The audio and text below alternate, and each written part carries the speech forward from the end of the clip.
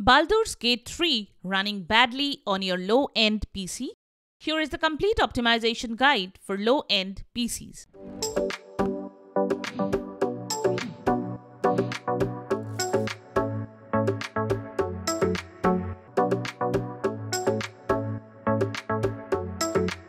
Before we move forward, do us a favor by subscribing to our channel and liking this video. It's free and helps us a lot. We do tons of research trying to find the working solutions for you. Your little support will help us continue making solution videos for you and others. Now, let's get started. Method 1. First, you need to make sure that your PC specifications meet the minimum requirement of the game. If they don't, then whatever you may try, the game won't run on your PC. You can find the minimum and recommended requirements in Steam. Method 2. If your PC meets the minimum requirements, then the first thing you need to do is change the in-game settings. Run Baldur's Gate 3 launcher. Beside the play option, here you will see two options Vulkan and DirectX 11. If you're using an older GPU, then pick DirectX 11. If it's a newer gen model, select Vulkan. Now click on play to run the game. After the game launches, click on options. Next, select the video tab. First, click on the full screen display option and select the display that is connected to the graphics card. Next, set the resolution to native resolution of your monitor. Set display mode to full screen. Next, disable VSync. Check the frame rate cap box and set the frame rate cap slider to 240. Next, set the overall preset to low. Click on apply to save the changes. Method 3. The next thing you need to do is update your graphics driver.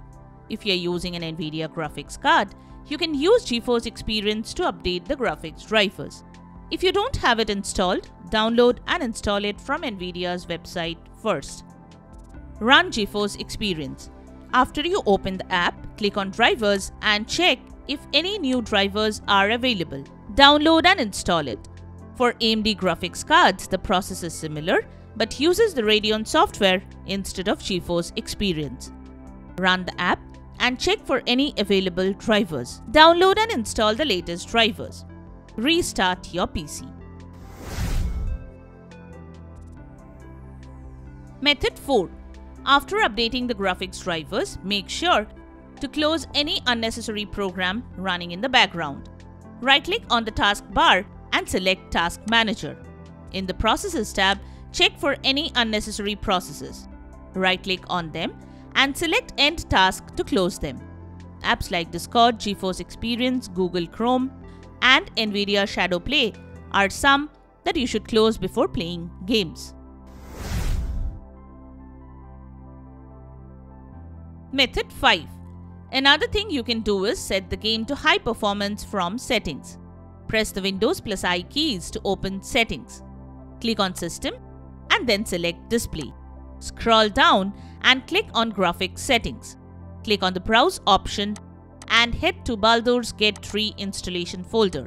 Select the BG3EXE and BG3 underscore DX11EXE and add them.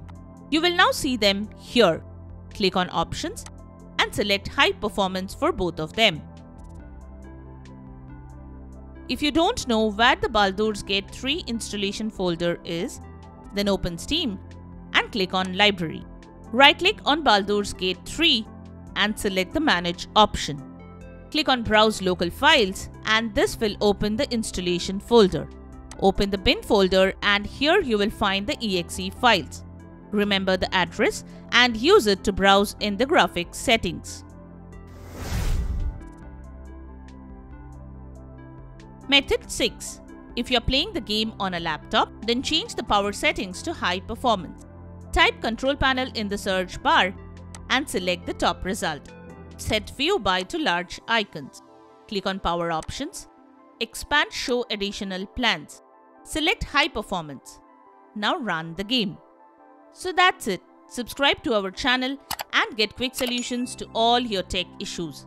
Leave a comment and help others know which solution solved your problem. Thanks for watching and always remember that we are here to help you out.